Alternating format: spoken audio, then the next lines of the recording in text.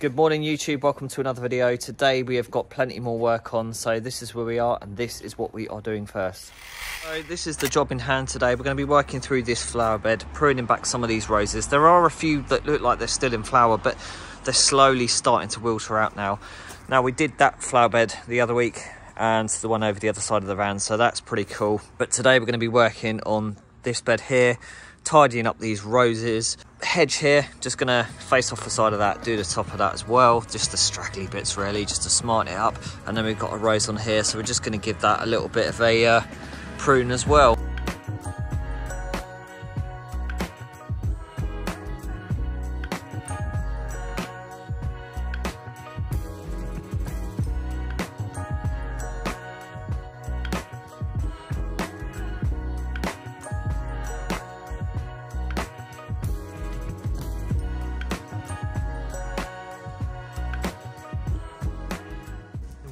The most painstaking part. Yeah. but it always looks better if you get to do it properly, you know? Yeah. It's one of them, I think with more time, because let's say we're only here for two hours, guys. You're very limited to what you can get done in two hours, yeah. but we will certainly do our best.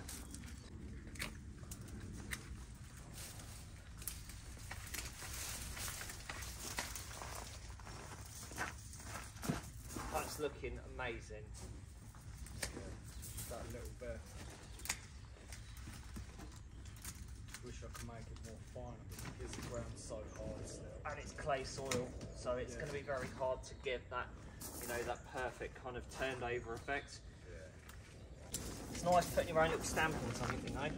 Well, you should at the end of the day, I suppose. You're the one doing the work, so yeah. when people look at it, they want to know that you've done. Well, you want people to know you've done it. Yeah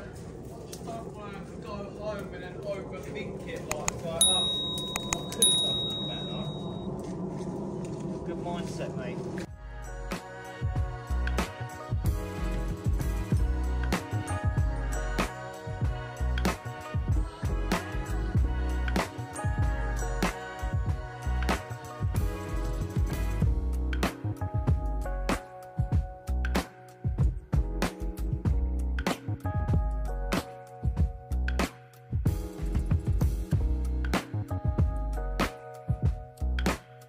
Right guys, that's our first two hours done. Here's the after. So we've completely weeded this flower bed. There's a little bit of detailing still to do. We had a two hour window, so we've done as best as we can. We've cut the uh, hedge sides and top, pruned these roses down here, and say cleared the worst of the muck and rubbish out the flower beds. There was a few, I say, bits of detailing to do in the front, but we've cleared the bulk out of here, so it's looking much, much better. And we've also exposed the path, which we didn't know was there, and cleared, say, the worst of the weeds out the front. But it's it's better than it was. Not bad for two hours work. Job number two now, just working our way through this little flower bed. There's plenty of weeds in here. I've dug the weeds out of this section here. I'm just going to fluff up the soil in a bit. Um, but what I'm doing here is we've got these fruit trees, uh, fig I think it is actually. Um, so I'm just clipping away some of the overhang bits from around the side. And then I may even try and take a little bit off the top and round that off as well. So tidying this up, pruning it back, giving us a bit of a haircut. Going to weed through here, clear all the leaves, apple, fruit, weeds, just everything. And then fluff up the soil and make it look loads, loads better.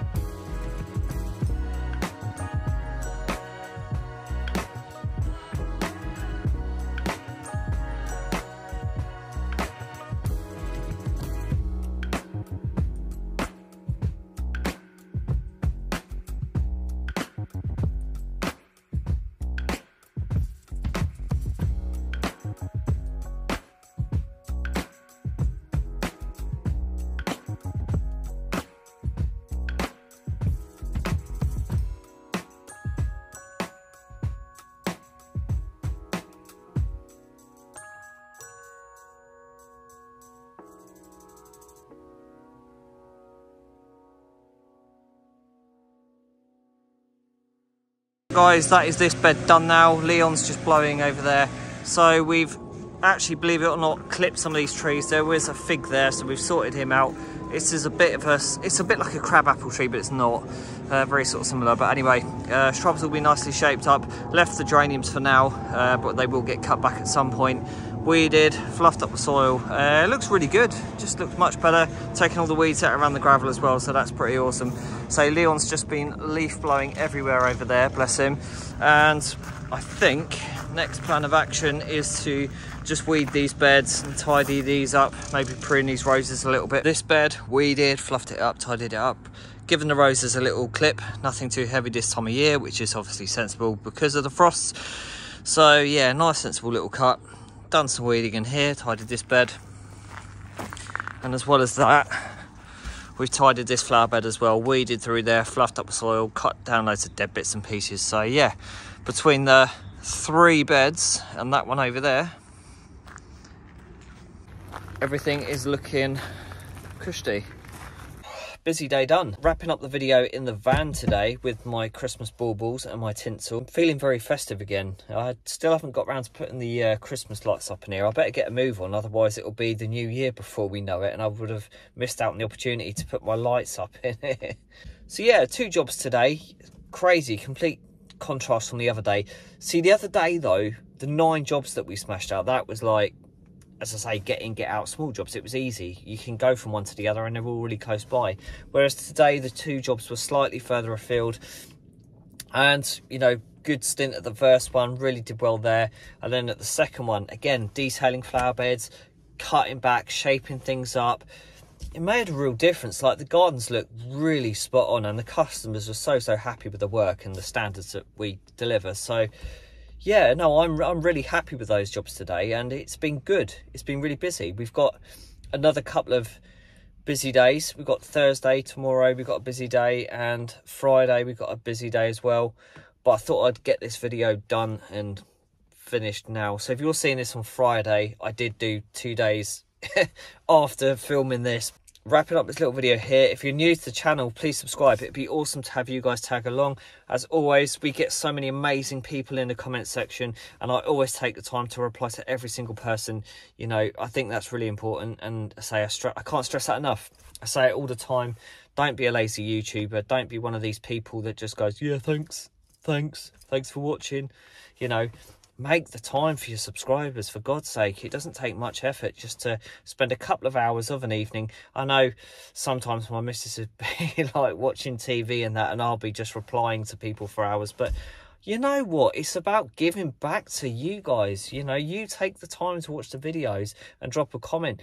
It's only right that we make the time and give back to the community as well and I don't know why more people don't do it. I know I can understand like if you've got like 20,000 subscribers for example and you get like 300 comments then you probably won't have time to reply to everyone.